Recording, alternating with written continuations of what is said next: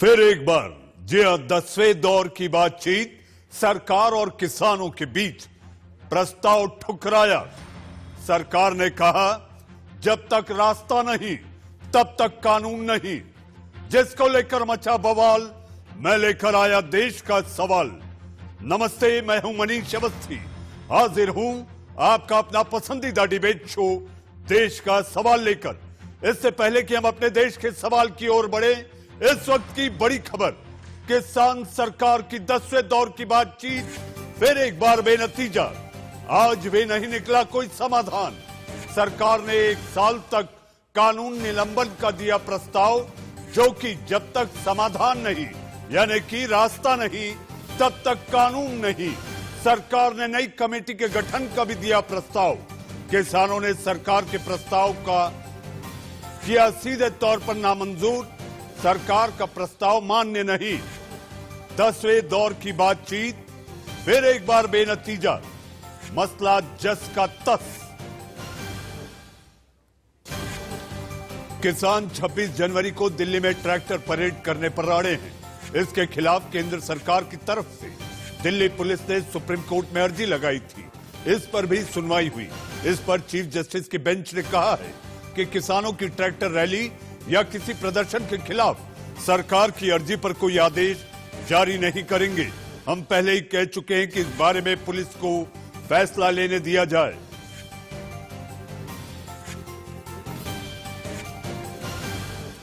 अब सुनिए 26 जनवरी के ट्रैक्टर मार्च को लेकर किसानों का क्या कहना है? ये परेड है, उसको हम डिस्टर्ब नहीं करना चाहते। तो ये रोड सबसे अच्छा रोड है। और सरकार को मान लेना चाहिए, वो पता नहीं किस नज़र से सोच रहे हैं। नहीं मैनेज कर पाएँगे हम क्या करें? थोड़ी मिलिट्री है, उ- उस- उनके पास है लोग। और स्टेटों से पुलिस बुला लें। अब ये थोड़ी है अभी उनसे बात करेंगे, अभी बात करने जा रहे हैं और ये सारी बातें वहीं पे होंगी। अगर वो सहमति नहीं देते हैं, फिर सोचिए जनवरी का जो प्रेशर है ਜਾਂ तो सरकार उसको जो रोकना है तो कानून कानून रद्द कर दें। ये तीनों खेती कानून रद्द करें एमएसपी वखरा कानून बना दें नहीं तो फिर छब्बीस जनवरी की परेड तो होगी दिल्ली कूच करने की तैयारी है जो दिल्ली के अंदर रूट प्लान किया गया है उस पर ही जाएँगे और हालत हर हालत जाएँगे शांतिपूर्ण तरीके ने जाएँगे साढ़े किसान आगू अगे लगन लगनगे यारह वलंटियर लगनगे बिल्कुल शांतिपूर्ण तरीके ਨਾਲ अपनी परेड करेंगे जनवरी का जो प्रेशर है जी हम किसान अपना पथ तैयार कर रहे हैं क्योंकि जवान राजपथ पर होंगे। किसानों ने कहा है, बॉर्डर पर हमारा पथ होगा, यानी कि ट्रैक्टर रैली भी होगी और किसानों की परेड भी। आज सर्वोच्च अदालत ने क्या कहा? इसको लेकर सब लोग चिंतित है कि सरकार को ये अदालत ने कह दिया कि आप अधिकार दिल्ली पुलिस का है, जहाँ पर आपको यह तय करना है कि आखिर परेड निकले। परेड के साथ साथ अगर किसान अड़े हैं तो ये आप इजाज़त देंगे हो या ना हो, अदालत इसमें दखल नहीं देगी। जी हाँ इसी पर चर्चा और बहस करने के लिए हमारे साथ मेहमानों का पैनल है। पैनल में मेरे अपने सहयोगी आशीष सिन्हा भी मौजूद हैं, जो अदालत की कार्रवाई को काफ़ी करीब से कवर करते रहे हैं और आखिर अदालत ने क्या कहा, ये भी बताएँगे। आपके टीवी स्क्रीन पर जाने पहचाने चेहरे, जी हाँ बीजेपी का पक्ष रखने के लिए युवा और तेज तर्रार बीजेपी के प्रवक्ता रोहित चहल हमारे साथ हैं, हमारे साथ किसानों की बात जी अध्ययन के साथ, हर बारीकी को समझकर, समझाने के लिए देश का सवाल में लगातार वक्त निकालने वाले ऐसे चौधरी पुष्पेंद्र सिंह जी हमारे साथ हैं। हमारे साथ जी हाँ कांग्रेस के प्रवक्ता सुरेंद्र सिंह राजपूत जी। जी हाँ आप भी काफ़ी, आप भी काफ़ी अध्ययन करके बैठते हैं, लेकिन आप कई बार आपा खो देते हैं। तो हम आपसे आग्रह करेंगे, गणतंत्र दिवस आ रहा है। ऐसे में देश का सवाल में हम चर्चा व्यक्तिगत ना करते हुए उन अन्नदाताओं को लेकर बात करें कि आखिर समाधान कैसे निकले। सुरेंद्र जी, आपका भी स्वागत है। सचिन भल्ला, राजनीतिक विश्लेषक हमारे साथ हैं। सचिन जी, आपका भी स्वागत है। हमारे साथ किसान नेता विजय तालान जी भी हैं। जी हाँ आखिर किसान विजय पथ की तलाश में है। वो भी निकलेंगे। आपका भी स्वागत है। मैं आप सबके पास आऊँगा। उससे पहले मैं आपको लिए चलता हूँ। मेरे अपने सहयोगी आशीष सिन्हा के पास। आशीष सर्वोच्च अदालत ने आज क्या कहा? अदालत ने कह दिया, दिल्ली पुलिस तय करे, रैली हो या ना हो। इसके अलावा क्या क्या हुआ? हम चाहेंगे कि आप विस्तार से बताएँ, समझाएँ। देखिए मनीष जी, आज दिल्ली पुलिस को सुप्रीम कोर्ट से निराशा हाथ लगी। दरअसल मामले की सुनवाई के दौरान अटॉर्नी जनरल के के वेणुगोपाल, जो दिल्ली की तरफ़ से पेश हुए, दिल्ली पुलिस की तरफ़ से पेश हुए थे, उन्होंने कहा कि किसान ट्रैक्टर रैली करना चाहते हैं 26 जनवरी को। हज़ारों की तादाद में जो ट्रैक्टर होंगे, वो दिल्ली में आएँगे। तब सीजीआई जस्टिस बोबड़े ने कहा कि हम पहले ही कह चुके हैं कि इस मामले में कि दिल्ली पुलिस अपने अधिकारों का इस्तेमाल करे। दिल्ली में कौन प्रवेश करेगा, कौन नहीं करेगा, संख्या कितनी होगी, तादाद कितनी होगी, ये दिल्ली पुलिस तय करे, ये लॉ एंड ऑर्डर का मामला है। इसमें कोर्ट दखल नहीं देगा। इसी बीच सॉलिसिटर जनरल तुषार मेहता, वो भी दिल्ली पुलिस की तरफ़ से पेश हो रहे थे। उन्होंने कहा कि इस मामले की सुनवाई 25 जनवरी को की जाए, यानी 26 जनवरी से ठीक एक दिन पहले जब ट्रैक्टर मार्च निकलेगा। सुप्रीम कोर्ट ने बिल्कुल साफ़ तौर पर कहा कि हम इसमें दखल देनी याचिका वापस लीजिए, नहीं तो हम याचिका वापस लेने का आदेश देंगे। उसके बाद कोर्ट ने जो पिटिशन थी, जो दिल्ली पुलिस की पिटिशन थी, उसको विड्रॉ करने के लिए आदेश दे दिए। दूसरी आज जो सबसे अहम बात हुई अदालत में, मनीष जी, सुप्रीम कोर्ट ने जो कमिटी गठित की है, उसके जो मेम्बरान हैं, उनको लेकर तरह तरह के सवाल उठाए जा रहे हैं। क्या सोशल मीडिया उस पर आज सुप्रीम कोर्ट ने तल्ख टिप्पणी की। सुप्रीम कोर्ट ने कहा कि अगर कमिटी का कोई भी सदस्य अपना एक विचार रखता है और अगर कोर्ट उसे कमिटी में अपॉइंट कर देती है तो इसका मतलब ये नहीं कि वो जिस विचार से सहमत हो, वही विचार वो कायम रखे। कई बार जजेस के साथ भी ऐसा होता है कि वो एक विचार लेकर चलते हैं, लेकिन जब मामले की सुनवाई करते हैं या जब फैसला देते हैं तो वो विचार बदल जाता है। इसलिए किसी को भी इस नज़रिए से देखना या पूर्वाग्रह का शिकार होकर देखना ये सही नहीं है। सुप्रीम कोर्ट ने आज एक बात बिल्कुल साफ़ कर दी कि कमिटी को वो भंग नहीं करने वाली। ये तीन सदस्यीय कमिटी तो रहेगी। इसके अलावा जो चौथा सदस्य होगा, मान जी के जाने के बाद वो कौन होगा, इसको लेकर केंद्र सरकार को जवाब दाखिल करना है। एक और अहम बात यहाँ पर सुप्रीम कोर्ट ने मनीष जी ने सुप्रीम कोर्ट ने कही कि आप कमेटी के सामने, यानी किसान नेता कमेटी के सामने पेश हो, नहीं हो, कमेटी अपना काम करेगी, कमेटी फ़ाइल करने का, कमेटी अपनी रिपोर्ट फ़ाइल करेगी, और उसके बाद हम इस मामले की संवैधानिकता, यानी जो कृषि कानून की जो संवैधानिकता है, वो तय करेंगे। जी, आशीष, आपका इस तमाम जानकारी के लिए बहुत बहुत धन्यवाद। हमारे साथ हमारे दूसरे सहयोगी यतेंद्र शर्मा विज्ञान भवन से हैं। यतेंद्र विज्ञान भवन के ज़मीन की तासीर काम करती दिखाई नहीं दे रही। दस दौर की बातचीत, बेनतीजा, जस की तस सब कुछ जहाँ का तहां। ऐसी सूरत में सरकार ने क्या ऐसा प्रस्ताव रखा है कि जब तक रास्ता नहीं, तब तक कानून नहीं यतीन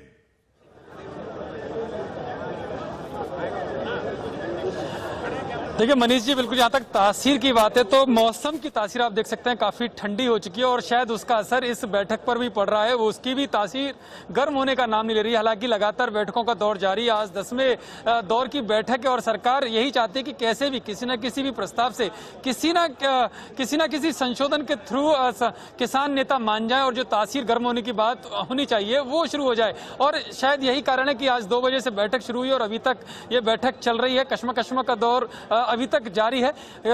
लंच ब्रेक हुआ, फिर टी ब्रेक हुआ। उसमें सरकार की तरफ़ से कई सारे प्रस्ताव दिए गए। एनआईए का भी मुद्दा किसान नेताओं की तरफ़ से उठाया गया कि एनआईए किस तरह से परेशान कर रही है। तो वहीं संकेतों में साफ़ तौर पर कृषि मंत्री नरेंद्र सिंह तोमर ने कहा कि एनआईए बिना बेवजह किसी भी किसान नेता को परेशान नहीं करेगी। लेकिन इसका संकेत ये भी है मनीष जी कि अगर वजह है, यानी कि अगर प्रूफ है, किसी भी तरह का इनपुट है तो एनआईए ज़रूर अपनी कार्रवाई करेगी या दूसरी जो एजेंसियाँ वो अपनी कार्रवाई करेंगी। ये साफ़ तौर पर मैसेज किसान नेताओं को दे दिया गया। जहाँ तक आपने जो प्रस्ताव की बात कही है तो ये प्रस्ताव जो सूत्र बता रहे हैं वो यही है कि सरकार की तरफ़ से प्रस्ताव दिया गया है कि एक डेढ़ साल तक एक इन कानूनों को सस्पेंड कर दिया जाता है। इन, इनको अमल में नहीं लाएँगे और किसान और सरकार के लोग मिलकर एक कमेटी बना लेते हैं जिसके बाद किसान नेता बैठक से बाहर निकले और अलग से उन्होंने बातचीत किया और अब से जो खबर मिल रही है जो सूत्र बता रहे हैं कि वो बैठक फिर में फिर से बैठक में चले गए हैं और बैठक की शुरुआत एक बार फिर से हो चुकी है। हालाँकि उस प्रस्ताव को लेकर पहली बार में ही किसान नेताओं ने साफ़ तौर पर मना कर दिया, लेकिन जब अलग से बैठे हैं और अब सरकार के सामने क्या रुख रहता है, उनकी तरफ़ से क्या शर्तें रहती हैं, क्या वापस वो उसी अपने अड़ियल रवैये पर डटे हुए हैं, यह भी कुछ कुछ देर बाद पता चल जाएगा। यतेंद्र एक छोटा सा सवाल और हम चाहेंगे आपका छोटा जवाब। यतेंद्र क्या सरकार ने यह भी कहा है किसान यूनियनों से कि आप एनआईए के समन को लेकर जिसकी बात कर रहे हैं तो आप उन बेगुनाह लोगों के नाम की सूची दें जिनको समन गए क्या इस तरह की भी कोई बातचीत हुई है?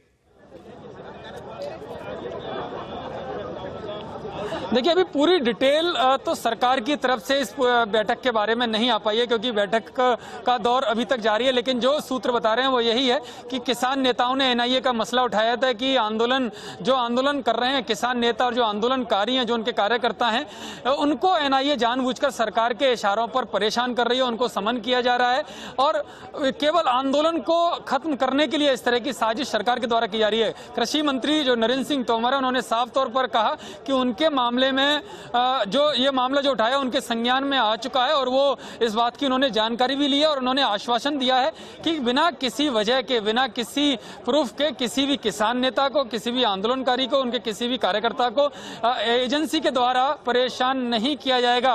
यही मनीष मैं बार बार कह रहा हूँ कि इसका एक मैसेज ये भी है कि अगर इनपुट्स एजेंसी को मिलते हैं एनआईए को तो ज़रूर सम्मन की जो प्रक्रिया चल रही है, वो लगातार चलती रहेगी। जी यतेंद्र आपका इस जानकारी के लिए। बहुत बहुत धन्यवाद और जैसे ही बातचीत खत्म होगी, फिर एक बार हम आपके पास लौटेंगे। जी हाँ यतेंद्र शर्मा विज्ञान भवन से जानकारी दे रहे थे कि किसान और सरकारों के बीच जिस तरह की बातचीत चल रही है, आखिर उसमें क्या हो रहा है। हमारे साथ मेहमानों का पैनल है। पैनल में मैंने सबका तारुफ आपसे करा दिया है। सबसे पहले मैं चौधरी पुष्पेंद्र सिंह जी के पास चलूँगा। चौधरी साहब चौधरी साहब, मेरा सवाल आपसे। मुझे याद आता है जिस ट्रैक्टर रैली को लेकर किसान अड़े हुए हैं कि 26 जनवरी यानी गणतंत्र दिवस को ट्रैक्टर रैली होगी, किसानों की परेड भी होगी। मुझे याद आता है उन्नीस सौ बावन में भी ट्रैक्टर रैली में शामिल हुए थे, चौधरी पुष्पेंद्र सिंह जी। लेकिन इस समय राजपथ पर जब हमारे जवान, हमारे देश की गाथा का बखान होता है, आन बान शान अगर राजपथ पे होती है और सरकार चाह रही है कि किसान रैली ना निकाले तो आखिर ये किस बात को लेकर अड़ बैठे हैं किसान? चौधरी साहब। देखिए, मनीष जी, आपने बहुत बढ़िया उदाहरण दिया है और अभी एक अन्य चैनल पे भी मैं था तो मैंने वहाँ भी ये बात स्पष्ट की थी कि जवान और किसान इस देश की रीढ़ है। कोई भी एक दूसरे का मस्तक नीचा करने का काम और जो पर्व है, ये राष्ट्रीय पर्व है 26 जनवरी का। इसमें कोई गड़बड़ी करने का काम नहीं होगा। जो भी परेड निकालने की बात किसानों ने कही है, वो परेड ऐसी होगी जिससे जो है गर्व महसूस होगा पूरे देश को कि भाई हमारे देश के किसान भी इस परेड में जी जान से लगे हुए हैं, तिरंगा झंडा लगा करके चल रहे हैं। तो इसमें कोई दिक्कत नहीं है, पहली बात। दूसरा, इसका जो स्थान है, वो मेन परेड जो होती है राजपथ पर और अन्य सेंट्रल दिल्ली में, उससे 20 किलोमीटर दूर है। और तीसरी बात यह है, उसमें भी हमने बहुत स्पष्ट कर दिया, जैसा सुप्रीम कोर्ट ने कहा है कि भाई आप पुलिस के माध्यम से, पुलिस इसको जो, जिस तरीके से टैकल करना चाहे वो करेगी। लॉ एंड ऑर्डर की समस्या पुलिस और सरकार की ज़िम्मेदारी है।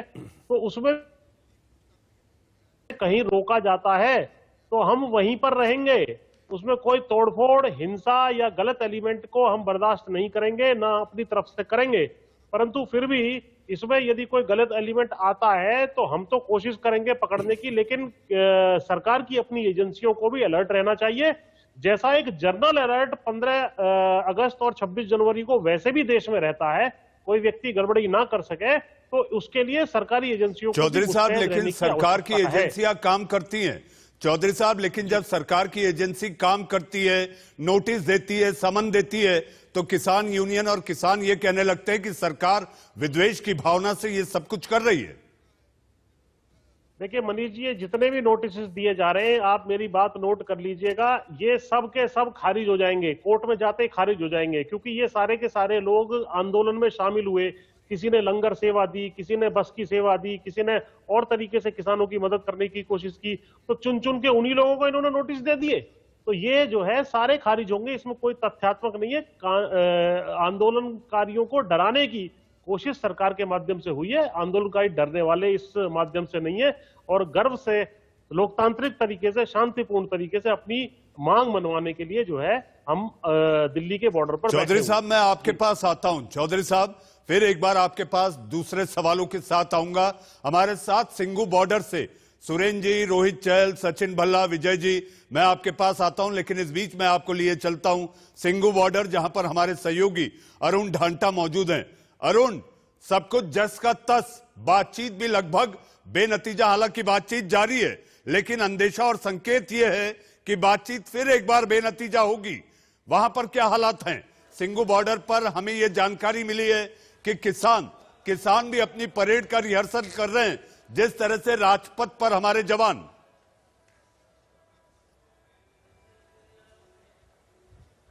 बिल्कुल मनीष जी और किसान ये लगातार कह रहे हैं कि उनको मीटिंग से ज़्यादा उम्मीद नहीं है। इसीलिए जो उनकी तैयारी है वो उसमें लगे रहेंगे। आज जिस तरह से जो एक एक एक, एक ट्रैक्टर जो रैली थी उसकी आज यहाँ पर ड्रिल भी की गई कि किस तरह से 26 तारीख को किसान जो है यहाँ से ट्रैक्टर मार्च निकालेंगे। लेकिन इसमें दो तीन सवाल बड़े हैं मनीष जी। एक तो ये कि किस तरह से ये ट्रैक्टर रैली की जाएगी क्योंकि अभी दिल्ली पुलिस की तरफ़ से इस पर पूरा देखा जाएगा कि किस तरह से परमिशन दी जाएगी किसान ये साफ़ कर रहे हैं कि वो दिल्ली के अंदर नहीं जाएँगे सेंट्रल दिल्ली की तरफ़ नहीं जाएँगे। वो चाहते हैं कि जो उनको ट्रैक्टर मार्च की परमिशन है वो उनको बाहरी दिल्ली के इलाकों में जाने के लिए दी जाए। और साफ़ तौर पे किसान ये कह रहे हैं कि ये पीसफुल मार्च होगा किसी तरह का वायलेंस या किसी तरह का डिस्टर्बेंस हम नहीं करेंगे। लेकिन एक बात ये ज़रूर है कि इतनी बड़ी संख्या में जितनी बड़ी संख्या में किसान कह रहे हैं अगर ट्रैक्टर रोड पे निकलेंगे तो कहीं ना कहीं समस्याएँ तो लोगों को ज़रूर होगी। तो ऐसे में तमाम चीज़ों को अ, किसान अ, जान रहे हैं और साथ ही साथ किसानों को ये भी मालूम है कि जब उनका जो कॉज है, जो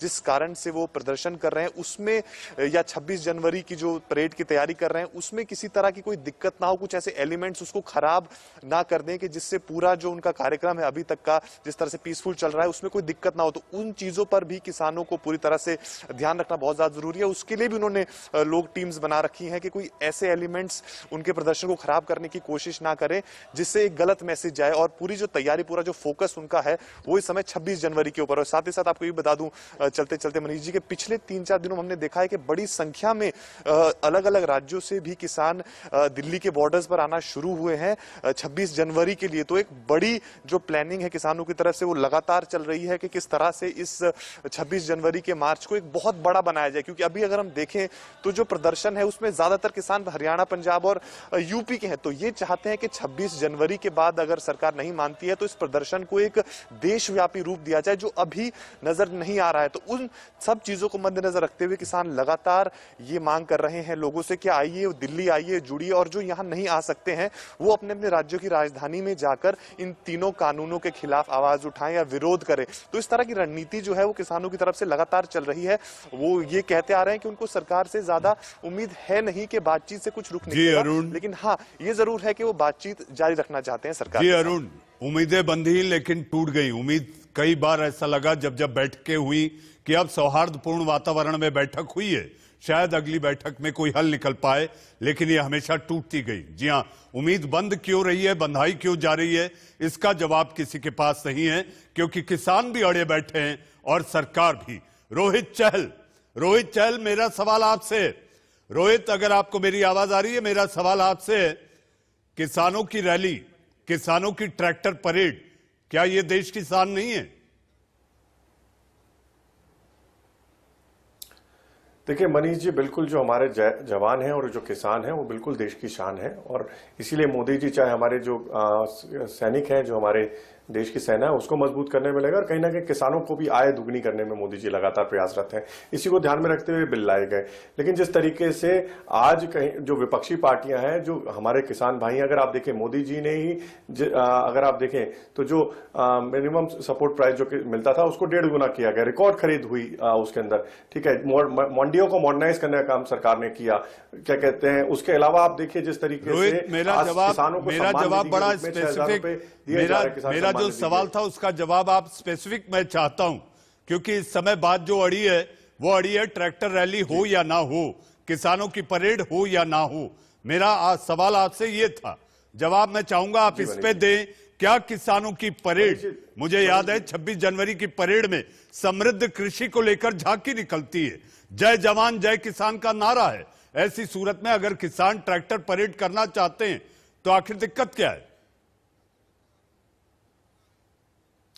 देखिए, दिक्कत, देखिए, लोकतंत्र के अंदर आज़ादी है और आंदोलन कर रहे हैं, लेकिन देखिए 26 जैस- जनवरी जैसा जो देश के लिए एक बड़ा दिन होता है और पूरे विश्व के अंदर भारत की जो ताकत है, वो सामने दिखाई जाती है, और अगर वो अगर उनको रैली निकालनी भी होती है तो उसके अंदर अगर अगर मानिए, अगर वहाँ पर कोई ऐसा सामाजिक तत्व आता है, और वहाँ पर एक छोटी सी घटना भी घटती है तो अंतर्राष्ट्रीय मंच पर भी भारत का कहीं ना कहीं नाम खराब होता है। तो 26 जनवरी हम सबके लिए गौरव का विषय है और हम सब जानते हैं कि आ, लगातार जिस तरीके से किसानों को लेकर कहा सरकार काम कर रही है और, और बातचीत का दौर तो जा, जारी है आज भी बातचीत चल रही है और समाधान जो निकलेगा वो बातचीत से निकलेगा। तो जो भी उनकी मांगे हैं सरकार उस पर चर्चा करने को तैयार खुले मन से बैठी है और चर्चा हो भी रही है। तो हमें पूरी आशा और उम्मीद है समाधान निकले लेकिन छब्बीस जनवरी हम सबके लिए एक बड़ा गौरव का दिन है और एक भी छोटी सी घटना होती है तो आप समझ सकते हैं मनीष जी हम सब जानते हैं चाहे वो हमारे किसान भाई भी हैं क्योंकि उनके भी जो बच्चे हैं वो फौज में हैं और कहीं ना कहीं जिस तरीके से पूरे देश के जो एक नाम है गौरव है हम सबका एक मान बढ़ता है। तो वो दिन अगर आ, कुछ भी होती घटना छोटी सी भी घटना कहीं ना कहीं बड़ा आ, उसका मैसेज जाता है तो हमें ध्यान रखते हुए 26 जनवरी पे मुझे लगता है इस चीज़ों से बचना चाहिए और आज जो बैठक चल रही है उसके अंदर पूरी आशा उम्मीद है कोई ना कोई समाधान ज़रूर निकलेगा। सुरेंद्र सिंह राजपूत सुरेंद्र जी आप जब रोहित जवाब दे रहे थे आप मुस्कुरा रहे थे। जी हाँ अगर परेड निकलती है परेड निकले वहाँ तक ठीक है किसान निकाले वहाँ तक भी ठीक है। लेकिन अगर कांग्रेस के नेता झंडा लेकर बैठ जाए ट्रैक्टर पर, जो कि किसान नहीं चाहते, लेकिन आप झंडा बरदार बनने के लिए सामने आकर ये कह रहे हैं कि हाँ ये सही है, ये सही है, ये सही है। मनीष भाई, हम बहुत जिम्मेवारी से एक बात कहते हैं। यहाँ चौधरी पुष्पेंद्र सिंह जी जैसे वरिष्ठ किसान नेता बैठे हुए हैं। इनको हम हाजिर नाजिर जान के कहते हैं कि किसान आंदोलन का हम समर्थन करते थे, करते हैं और करते रहेंगे। एक बात और ना हम आंदोलन में शामिल हैं किसानों के और ना ही किसानों के किसी मंच पर जाएँगे। बहुत स्पष्ट रूप से ये किसानों का आंदोलन है किसान का मंच है और किसान जिसको चाहेगा अपने ट्रैक्टर पे बैठाएगा और जिसको चाहेगा अपने मंच पर बैठाएगा हम वहाँ पर कतई ना उनके मंच पर जाएँगे और ना ही हम आ, उनके ट्रैक्टर पर बैठेंगे। हमारा नैतिक समर्थन है उनको पीछे से समर्थन है उनको और किसान हमारे भाई हैं। किसान भाजपा के भी भाई हैं। लेकिन भाजपा उनको दुश्मन मान रही है। भाजपा आज की डेट में उनके ऊपर एनआईए के सम्मन डाल रही है। भाजपा आज की डेट में उनके ऊपर आतताइयों जैसा व्यवहार कर रही है। भाजपा उनके सामने तीस तीस फुट के गड्ढे खोद रही है। भाजपा उनके ऊपर आँसू गैस छोड़ रही है। भाजपा उनके ऊपर ठंडे पानी की बौछार कर रही है। तो हमारा भाजपा से भी यह अनुरोध है कि भाजपा उन्हें अपना अभिभावक माने, अपना अन्नदाता माने और प्रधानमंत्री उन्हें अपने बच्चे माने। और प्रधानमंत्री उनसे बात करें तत्काल इन तीनों कानूनों को रद्द करें या रद्दी करें। और उसके बाद एमएसपी की गारंटी देकर के 25 तारीख से पहले ही किसानों को हाथ जोड़ें और कहें कि आप सब लोग अपने अपने घर जाइए और छियासठ किसानों को शहीदों का भी दर्जा दें। सच बात यह है रोहित चहल एक छोटा जवाब। रोहित चहल छोटा जवाब। सरकार रह नज़र करना। जी। देखिए मुझे लगता है सुरेंद्र राजपूत जी शायद किस नशे में क्या है मुझे नहीं पता लेकिन अगर कांग्रेस के ध्यान में हो तो ये स्वामीनाथन आयोग जी की सिफारिश पर आठ साल तक कांग्रेस पार्टी और इनके नेता कुंडली मार के बैठे रहे। यूरिया के ऊपर लट चलते थे लोगों की हत्याएँ हो जाती थी यूरिया मिल रहा किसान नेता है वो भी अच्छे जानते हैं। एमएसपी डेढ़ गुना करके दिया गया था कि मैंने आपको डिस्टर्ब नहीं किया। अरे सुरेंद्र सच कड़वा लग रहा होगा आपको। लेकिन आप मान लीजिए किसान सबसे ज़्यादा हत्याएँ करता था।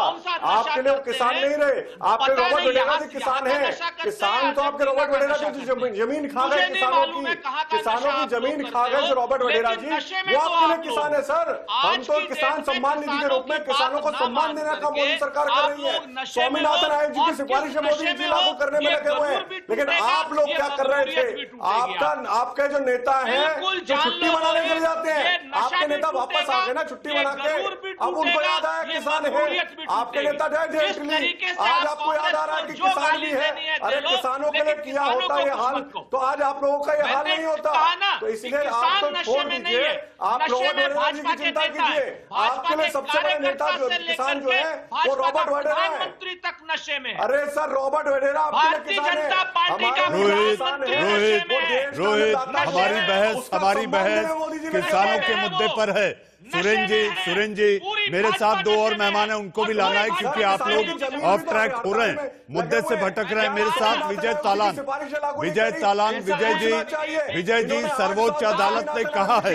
कि कमेटी पर कोई भी छीटा कशी बर्दाश्त नहीं। कमेटी का जो रिपोर्ट होगी वो अदालत पर ज़रूरी नहीं कि अदालत वही फैसला दे। अदालत फैसला बदल सकती है। तो कमेटी को लेकर अदालत ने साफ़ कह दिया है कि जो छीटाकशी और आरोप हो रहे हैं ये अदालत को पसंद नहीं। विजय तालान। अरे सर आपके नेता छुट्टी बना के वापस आ गए छुट्टी में जाने रोहित चहल रोहित चहल रोहित चहल। विजय तालान जी। जी। हेलो। आपने मेरा सवाल सुना। सुना आपका। आवाज़ आ रही है मेरी आपको? आ रही आ रही आप अपना जवाब दें। अगर आपने मेरा सवाल सुना है तो। उसका तो कई बार जवाब विजय तालान जी। विजय विजय जी तक आवाज़ नहीं जा पा रही है। सचिन भल्ला सचिन भल्ला जिस तरह से आप लोग कह रहे हैं कि ये कमेटी एक तरफा है जैसा दिमाग सरकार का वैसी कमेटी का दिमाग। ऐसे में अदालत ने आज कह दिया बाज आइए इस तरह के आरोप लगाने से। यह छीटाकशी बर्दाश्त नहीं होगी। अदालत की जो समिति है, वो रिपोर्ट देगी। फैसला जज करेंगे।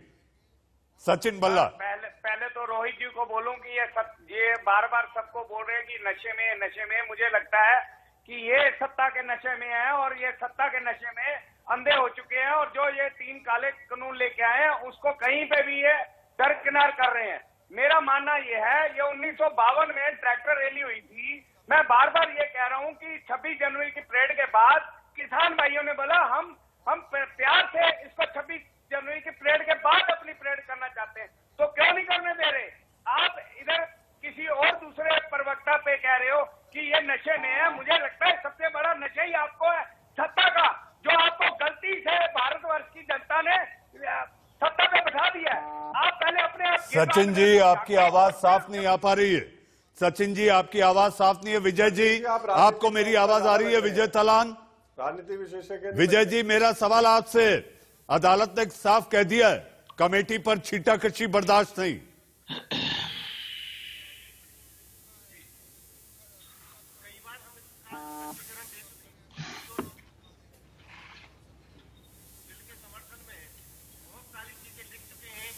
विजय तलान विजय जी तक हमारी बात चौधरी साहब, चौधरी पुष्पेंद्र सिंह जी, चौधरी साहब, यही सवाल मेरा आपसे भी है। अदालत ने कहा, कमेटी को लेकर जो बातें हो रही हैं और अदालत और कमेटी पर जो आक्षेप हो रहे हैं, ये बर्दाश्त नहीं, इससे बचना होगा। चौधरी पुष्पेंद्र सिंह जी। नहीं, देखिए, ऐसा है कि कमेटी के विषय में सुप्रीम कोर्ट की जो टिप्पणी है, उन्होंने अपना खुद का बचाव करने के लिए ये टिप्पणी दी है। पहले, सुन लिए, जो निष्पक्ष नहीं थे और उनको वो नाम किसने दिए? यदि इस बात का खुलासा हो जाता तो यही बात सामने आती कि सरकार ने उनको ये नाम दिए हैं। अब एक बड़ी कमेटी बनाने की बात है और आज जो प्रस्ताव आए हैं कि भाई कानूनों को डेढ़ साल, दो साल के लिए हम सस्पेंड कर दें और एक कमेटी बना दें, इसके साथ साथ एक मुख्य मांग जो एमएसपी को बाध्यकारी बनाने की है, प्राइवेट सेक्टर के ऊपर लागू करने की है, मैंडेटरी बनाने की है, उसके विषय में सरकार कोई निर्णय क्यों नहीं ले लेती है? अगर उनको इतना ही है कि भाई 26 जनवरी की हमारी परेड खराब हो सकती है, जो किसान खराब नहीं करेंगे या लॉ एंड ऑर्डर की सिचुएशन खराब हो सकती है तो भाई आज भी वार्ता हुई है, आप आज निर्णय ले लेते कि भाई एमएसपी हमने लागू कर दी और कानूनों को हमने दो साल के लिए, चार साल के लिए सस्पेंड कर दिया और कमेटी निष्पक्ष रूप से बना दी। तो सरकार भी कहीं ना कहीं मामले को उलझाए रखना चाहती तो के ऊपर करना उचित नहीं है। चौधरी साहब अगर आप ये कह रहे हैं, सरकार उलझाए रखना चाहती है, हम तो ये चाहते हैं कि किसानों की, यानी कि अन्नदाता की उलझन का जल्दी समाधान। इस बीच हम अपने देश के सवाल की ओर आगे बढ़े इस वक्त की बड़ी खबर भी है। जी हाँ बड़ी खबर ये कि लगातार पिछले पाँच घंटों से चल रही बैठक फिर एक बार बेनतीजा साबित होती दिखाई दे रही है। हालाँकि ये बैठक जो किसान और यूनियन के बीच और सरकार के साथ चल रही थी, वो खत्म होने की जानकारी भी सामने आ गई है। जी हाँ 22 जनवरी को 22 जनवरी को यानी फिर एक बार गणतंत्र दिवस के पहले सरकार ये चाहती है, बताना चाहती है कि हम लगातार इस मसले को सुलझाने में लगे हैं, समाधान ढूँढने में लगे हैं। इसलिए एक के बाद एक बैठकों के दौर जारी। अगली बैठक होगी 22 जनवरी को। इसी पर हमारे साथ देश के सवाल के पैनल में हमारे साथ मेहमान मौजूद हैं। आइए फिर हम चलते अपने मेहमानों की ओर। चौधरी साहब 22 तारीख को फिर एक बार बैठक। यानी कि आज की बैठक भी बेनतीजा। देखिए, मनीष जी, हम तो चाहते थे आज ही इसका कुछ हल निकले। पचपन छप्पन दिन हो गए, छप्पन दिन आज। और किसान दिल्ली में, ठंड में, बरसात में और सौ से ज़्यादा शहादतें इस आंदोलन में हो चुकी हैं। तो हम कष्ट में पड़े अपनी चुनी हुई सरकार के सामने पड़े हैं। लेकिन इस सरकार के यहाँ पर कोई सुनवाई नहीं होगी, ऐसा अब हमें लगता चला जा रहा है। हालाँकि 22 तारीख की मीटिंग में भी हम शामिल होंगे। हमें आशा है कि उस दिन भी हल निकले, लेकिन हल इनको बताया जा चुका है कि भाई ठीक है, आप एमएसपी को लागू कर दीजिए, आप इन कानूनों को जब तक किसान संतुष्ट नहीं होते, तब तक के लिए सस्पेंड कर दीजिए। कमेटी के माध्यम से विचार किया जा सकता है, लेकिन ये हल की तरफ़ नहीं बढ़ रहे हैं। कोई ना कोई और कारण भी मुझे दिखाई पड़ रहा है। या बीजेपी में ही कुछ ऐसे धड़े हैं जो नहीं चाहते कि इसका हल निकले? मैं तो यहाँ तक भी आरोप लगाऊँगा इसका बीजेपी वाले जवाब दे सकते हैं। जी, जी रोहित चल तारीख पे तारीख बैठक पे बैठक फिर एक तारीख आ गई 22 जनवरी। चौधरी साहब को अगर आपने सुना उन्होंने कहा आप ही के उसमें कोई है जो नहीं चाहता। सरकार में ही कुछ नेताओं की राय अलग है इसलिए ये बैठकें टलती जा रही हैं। जस का तस जहाँ के तहां।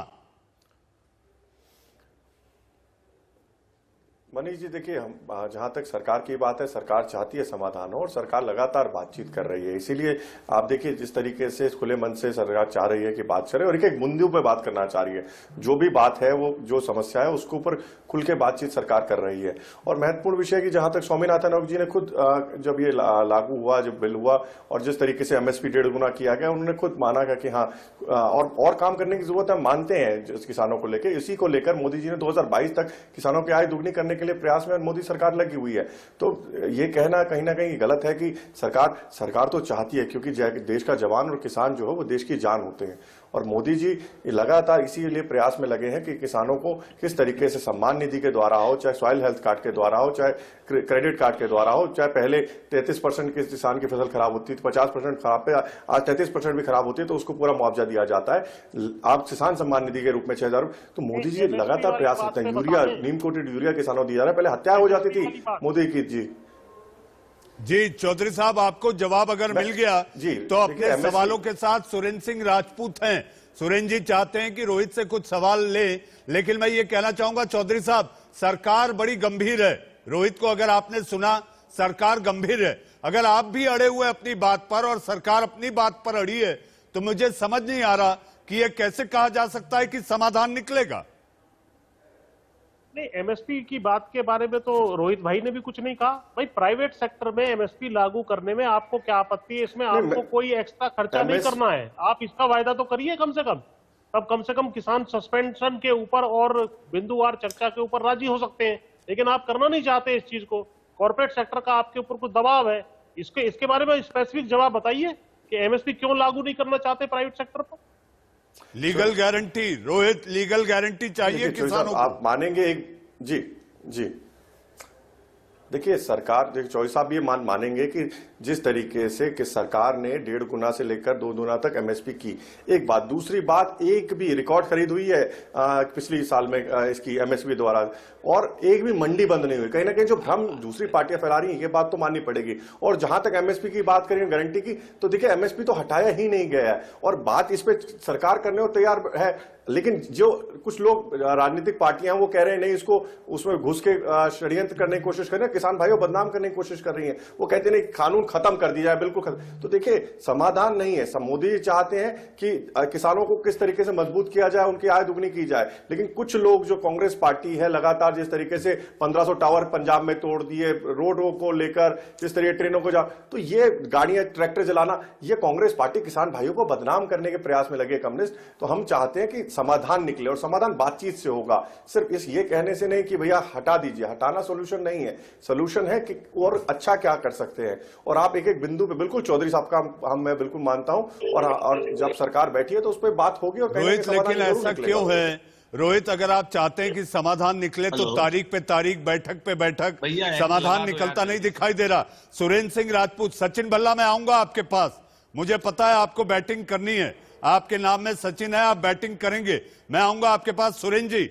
सुरे, जी हाँ सचिन भल्ला। सचिन भल्ला सुरेंद्र जी तक हमारी आवाज़ नहीं पहुँच पा रही है। सचिन भल्ला, सरकार गंभीर है। ऐसी सूरत में अगर किसान भी अड़ बैठे आज जैसे राजनीतिक विश्लेषक भी अगर इस बात की वकालत करने लग गए कि नहीं, जो हो रहा है ठीक है तो रास्ता कौन निकालेगा? अदालत आपको मंजूर नहीं। अदालत से नाराज़गी, कमेटी से नाराज़गी। सरकार ने कह दिया, एक और कमेटी बना लेते हैं। चलो, बात करेंगे। लेकिन उसमें भी अगर राज़ी नहीं तो समाधान कहाँ से आए? सचिन बल्ला सर सर, सरकार ने डेढ़ साल के टाइम के लिए इनको बोला कि इसको लागू नहीं किया जाएगा। डेढ़ साल में दोबारा किसान ऐसे आके रोड पे बैठेंगे? या दोबारा आके दोबारा ऐसे स्ट्राइक करेंगे, तब जाके ये दोबारा मानेंगे, यानी डेढ़ साल के लिए टालना चाहते हैं, पहली बात। दूसरी, इन्होंने किसान को बड़े सिस्टमेटिक ढंग से उस चौराहे पे लाके खड़ा कर दिया है, जहाँ पे रेड लाइट है ग्रीन लाइट तो है ही नहीं। लेकिन इनका ये करना सबसे बड़ा इनके लिए दुर्भाग्यवश होगा, क्यों? किसान इतना बोला बाला उसके साथ एक के साथ एक इतने जुड़ गए हैं कि ग्रीन लाइट ये करे ना करें वो रोड पूरा इन्होंने जाम किसान भाइयों का अपने आप जाम हो गया। तीसरी बात जो ये भाई मेरे रोहित जी बोल रहे थे कि बिहार बिहार का जो किसान है वो उसकी वार्षिक आय चालीस से पचास हज़ार रुपए है। और पंजाब का जो किसान है उसका दो से ढाई लाख रुपए है। तो जहाँ पे एपी एपी एमसी जो मंडी है इन्होंने बिहार में बंद करी थी उसके कारण वो भूखा मरने के कगार में है। और पंजाब का सचिन जी सचिन जी। सचिन जी मैं आपके पास आऊँगा। सुरेंद्र सिंह राजपूत। सुरेंद्र जी का सुरेंद्र जी का कनेक्शन जुड़ गया है। रोहित जी रोहित जैल आपके पास दो सवालों के जवाब देने होंगे। मैं सुरेंद्र जी को भी ला लेता हूँ। सुरेंद्र जी तारीख पे तारीख बैठक पे बैठक बातचीत पे बातचीत नेगोशिएशन पे नेगोशिएशन आखिर ये कब तक? आइए कमेटी कमेटी भी खेल लेते हैं। सरकार ने प्रस्ताव दिया एक कमेटी बना लेते हैं। एक कमेटी के पास किसान जा नहीं रहे। दूसरी कमेटी का प्रस्ताव आ गया। आखिर कैसे समाधान? देखिए, मनीष भाई, फिर से मैं वही बात कहता हूँ। तथ्यात्मक अगर हम लोग बात करें तो किसानों के ऊपर आप ओनस डाल रहे हैं। आप आप भी ओनस किसानों के ऊपर डाल रहे हैं और भारतीय जनता पार्टी वाले भी। सच बात यह है कि सरकार नहीं चाहती, इसीलिए सरकार किसानों को थकाना चाहती है। सरकार और सरकार के नेता, सरकार के मंत्री सब ऐसी कमरों में सो रहे हैं। सड़क पर तो किसान सो रहा है अपनी खेती को छोड़ करके। पानी में, ठंड में बर्फ़ में तो किसान बैठा हुआ है। आप ऊपर से कह रहे किसान बात नहीं मान रहा। अरे भाई, सच बात यह है कि सरकार बात नहीं मान रही है, एक बात। दूसरी बात, अभी बहुत बड़ी चीज़ ये कह रहे थे, आदरणीय रोहित चहल जी हमारे मित्र हैं, छोटे भाई की तरीके से है। स्वामीनाथन की बात कर रहे थे। स्वामीनाथन जिस भारतीय जनता पार्टी के प्रवक्ता से लेकर के प्रधानमंत्री को तक को एम एस स्वामीनाथन और स्वामीनाथन अय्यर में अंतर न पता हो, वो किसान कानून देश में कैसे लागू कर सकता है और किसे समझा सकता है? ये सब लोग कल तक चिल्ला रहे थे कि स्वामीनाथन साहब ने इस कमेटी का, इस नए कानूनों का सपोर्ट किया, जबकि वो स्वामीनाथन अय्यर ने लिखा था, एम एस स्वामीनाथन ने वो लेख नहीं लिखा था। ऐसे नाकारा रोहित और ऐसे रोहित से जवाब ले लेते हैं। सुरेंद्र भाई बैठे होते हैं। सुरेंद्र भाई रोहित से जवाब ले लेते हैं क्योंकि बहस का आखिरी पड़ाव है और मुझे चौधरी साहब के पास जाना अभी, है। अभी और किसी चीज़ पर मत पूछिएगा। ये पूछिए एम एस स्वामीनाथन ने रोहित चहल छोटा जवाब छोटा रिबटल। रोहित छोटा रिबटल मुझे चौधरी साहब के पास जाना है। मैं उम्मीद उम्मीद उम्मीद करता हूँ सुरेंद्र जी हमारे बड़े हैं बड़े भाई हैं और सम्मान से सुनेंगे। देखिए सुरेंद्र जी से मैंने प्रश्न किया था स्वामीनाथन आयोग जी स्वामीनाथन आयोग जी की जो सिफारिशें थी आठ साल पहले जब कांग्रेस आठ साल तक जो कांग्रेस सत्ता में रही उसके बाद आठ साल तक उनको लागू क्यों नहीं किया? उसका जवाब नहीं है सुरेंद्र राजपूत जी के पास। लेकिन सुरेंद्र राजपूत जी जो मोदी जी ने एमएसपी बढ़ा दी डेढ़ गुना कर दिया। उसके बाद जिस तरीके से रिपोर्ट खरीद हो रही है किसान को सम्मान निधि दिया जा रहा है। उसका जवाब नहीं है। स्वामीनाथन आयोग जी की सिवारे कुंडली मार के सोनिया राहुल जी बैठे रहे और ये कह रहे थे अरे किसानों को तो राहुल गांधी छोड़ के भाग गए इटली भाग गए थे। अब वापस आए हैं? छुट्टी मनाने आए थे? भारत में छुट्टी मनाने आए हैं। तो भैया कम से कम आप किसानों की चिंता मत कीजिए। रोहित नशा रोहित में रोहित हैं।